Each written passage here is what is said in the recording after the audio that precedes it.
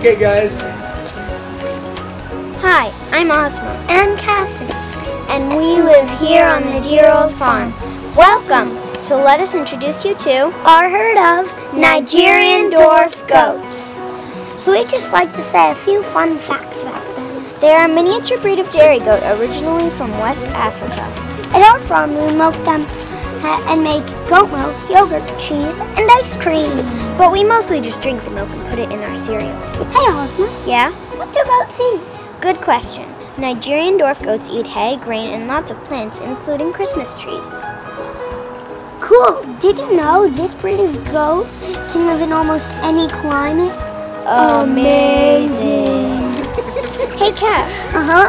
Can goats be pets? Sure. In fact, they can be pets and farm animals.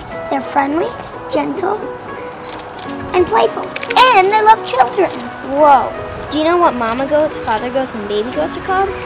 No, but I can't wait to find out. Male goats are called bucks or billies. Female goats are called does or nannies. And baby goats are called kids. Any questions?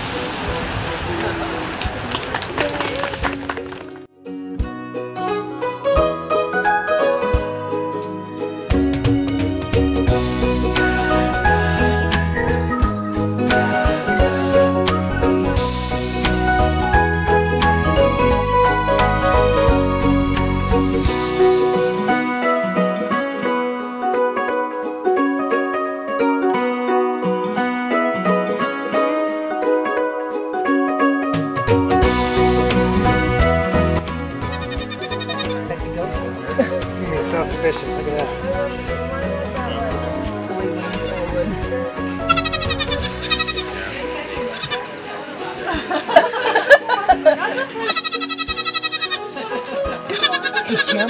Lots of quick snaps. you don't want to hold Go it. low, back alongside Ralph. Okay. What about the white one? Let's take the white one.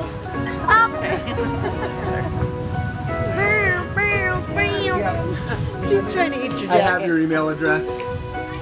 Carmen, go. See, like, That's right, and we're gonna hold her like a baby. And she likes to be held pretty tight like that. Oh, so soft. Everybody can leave with a peacock feather.